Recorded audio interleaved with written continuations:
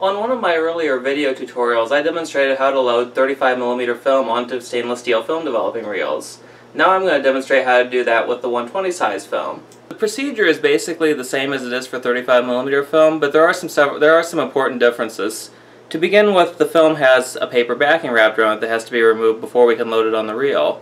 Also, the reel itself is quite a lot larger because of the wider film. And the film, even though it's a larger film, it's actually coated on a thinner film base. The plastic base is thinner, and so it's a lot more susceptible to damage if you're not careful with handling it. Let's go ahead and take off the paper backing to begin with. Um, the paper backing on 120 film has a tape wrapped around it to hold it in place.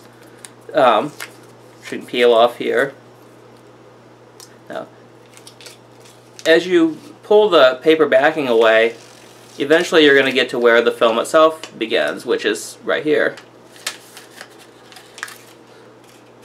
Um, what I do is I pull it off and I let the film kind of roll up in my left hand like that as I pull the backing paper away with my right hand, since I'm right-handed. If you're left-handed, you can switch that around. And you can see it's starting to accumulate over there in my hand.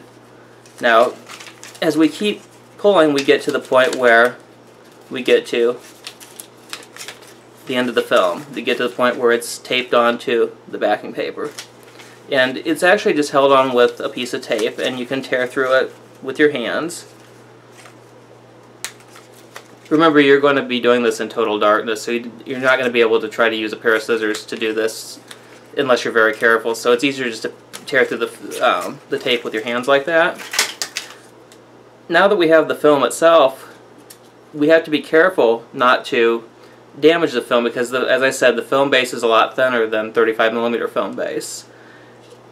Oh, let me go ahead and turn this around here because you're going to hold this in your right hand and then get the reel in your left hand and you're going to feel for on the reel like the 35 millimeter ones I showed you there's a clip in the middle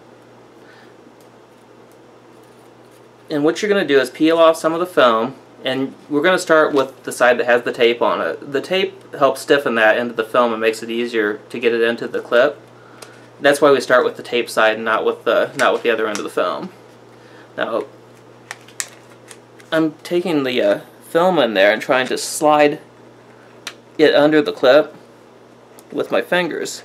And you have to do this totally by feel since you can't see any of this when you're doing it in the dark. So once you get it slid under there, oops, you don't want to do that, you'll kink the film if you drop it.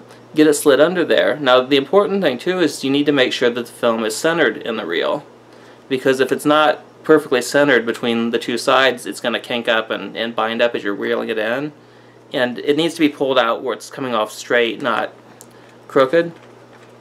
And what I, um, I think that I don't have it in here straight because it's not wanting to flatten out. And I can see it's not quite over far enough on the left side there. I push it over a little with my fingers. If you feel the edges of the film, and I mean these edges here on both sides with your fingers, you can kind of feel if it's centered in there. You can feel if it's sticking out too far on one side or the other.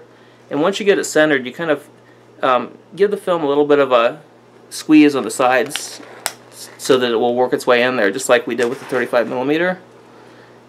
And you want to be careful that you don't kink the film or anything, because if it gets um, any little kinks in it, those will actually be permanent. They'll show up in your pictures. And you just keep basically walking the film onto the reel like this until you get to the end of it. And that you can see I'm still keeping that little bit of a squeeze to it to get it to allow it to walk inside those inside those wires that make up the uh, edges of the reel. Now I've gotten to the end here and this is a little harder because the end is a little stiffer and you kind of have to kind of work it in there with your hands like that. And sometimes when you put it in, one side will kind of fall out of the the wires if you kind of get your fingernail under there and kind of slide it under there real easily like that. Be careful not to scratch the film. You can get it where it's in there perfectly. And you can see it's right in there the way it should be. So at this point we're done. You put it into the film developing tank and you're ready to go.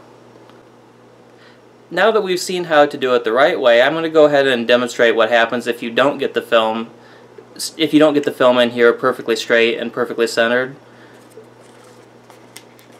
I've got the film started here like we did last time, but I'm going to kind of push it over a little bit so that it's a bit off center.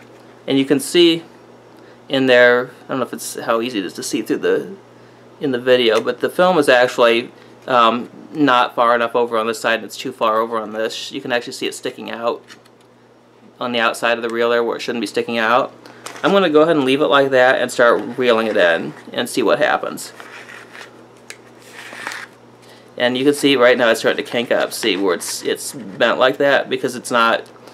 It, basically, it fell out of the grooves on one side and it starts to kink up against the grooves on the other side over here because it's it's too far over there, it won't fit in.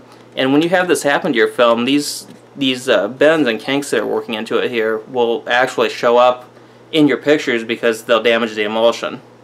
And so any frame, you know, any picture that's on this section of film is ruined. And that's why it's so important to make sure that you have the film perfectly centered in there and coming straight out when you wind it on.